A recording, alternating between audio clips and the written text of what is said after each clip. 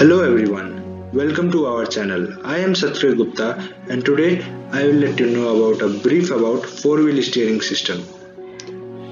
In an active four-wheel steering system, all four wheels turns at the same time when the driver steers. The 1989 Honda Prelude was the first mass production car to have four-wheel steering. The main purpose of all-wheel steering is to increase the agility and stability of a vehicle. So now, let us know how does four-wheel steering works. At low speed, usually under 30 or 40 miles per hour, the rear wheels turn slightly in the opposite direction as the front wheels. This is known as counter-phase steering. It allows the vehicle to have a smaller turning radius for better agility. At higher speed, usually over 30 or 40 miles per hour, the rear wheel turns slightly in the same direction as the front wheels. This is known as in-phase steering and it allows the vehicle to be more stable during the higher speed cornering. The vehicle actually leans less in and out of a corner since both axles shares the turning forces instead of just the front.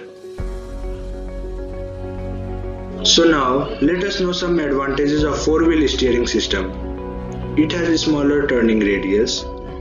A four-wheel steering system gives you the ability to make tighter turns in a smaller radius because the rear wheels are able to turn in a different direction than the front wheels. This makes it easier for you to maneuver your vehicle in a tight parking, parallel parking or a complete U-turn in areas some cars can't.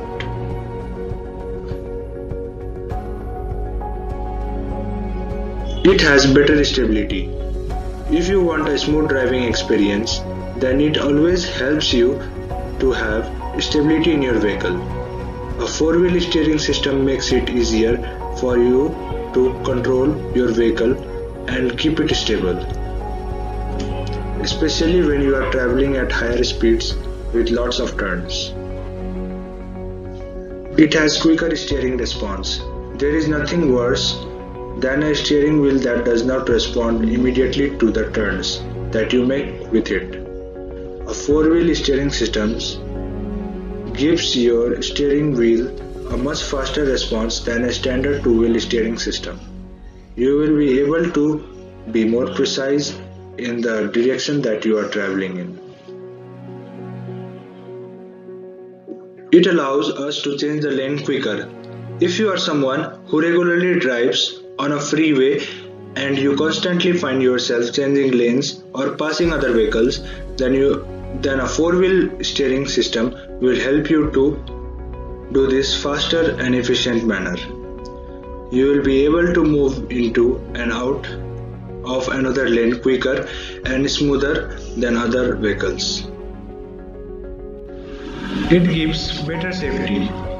Not every car rides on rails like Mazda Miata or KV Corvette. If you ever find yourself go too fast for a corner that you misjudged. Rear wheel steering will cause less body roll and may just save you from going off-road or into another vehicle.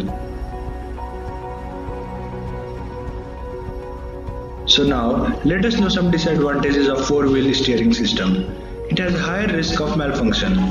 A four-wheel steering system is comprised of many electronic components and parts all it would take is for one component to malfunction and then the entire system would malfunction.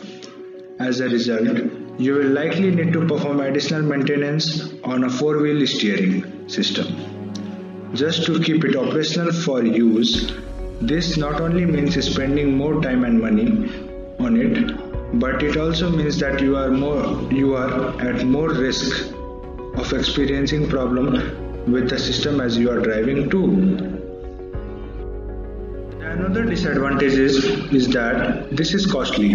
A car that has four-wheel steering system is going to cost a lot more money than a car with a just two-wheel steering system. This is due to the four-wheel steering system being more expensive to manufacture and develop since it contains more sophisticated components than a two-wheel steering system. All-wheel steering is often a standard feature with many high-end sport cars. But many other vehicles it's simply an optional feature so you at least have the choice of deciding whether the extra cost is worth it or not. So, there are actually more vehicles with rear wheel steering that most people think. Here are some of the most notable ones, some old and some new where rear wheel steering was an option or came standard on the vehicle. Here are the list of those vehicles.